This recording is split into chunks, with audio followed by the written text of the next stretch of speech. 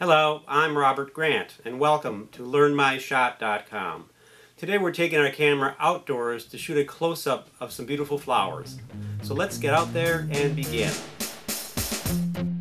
And here's our setup. I put the flowers in a vase on the table. The lighting's perfect today because it's high clouds with no harsh sunlight.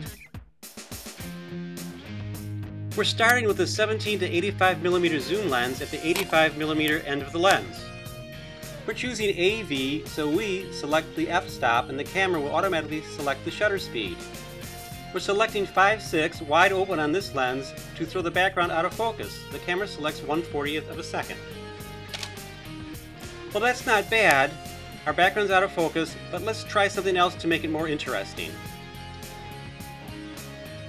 Let's put on a 21 millimeter close-up tube with our 17 to 85 millimeter lens on top of that.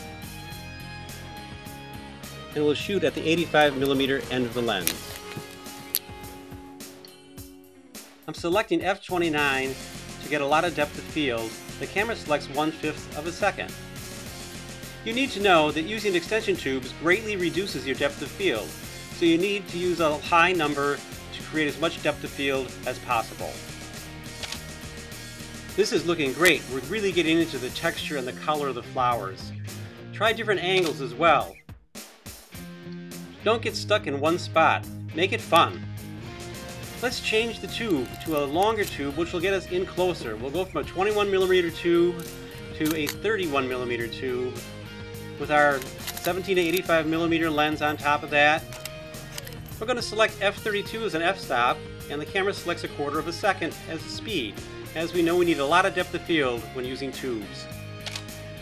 Well, that's terrific. We're right where we want to be with a beautiful graphic shot.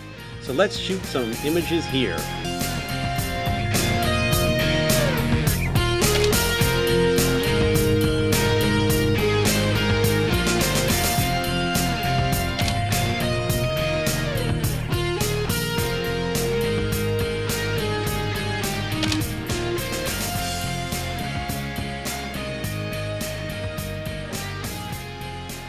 Well, we hope you enjoyed this video on shooting flowers close up with natural light.